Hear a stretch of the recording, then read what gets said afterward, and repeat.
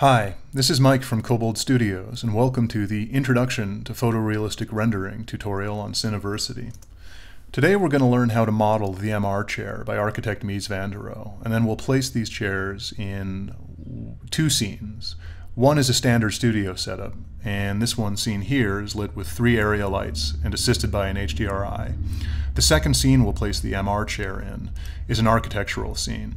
We've got a nice brick texture back here. We've got a distressed concrete floor and then some stark lighting. This is lit with a uh, physical sun and assisted by an HDRI. We've got some skylights that are letting the light through and creating a really compelling image. This is the same scene and these chairs are shifted a little closer to the storefront. And so today we'll learn how to go through and create these images. So let's go ahead and fire up R15 and get started.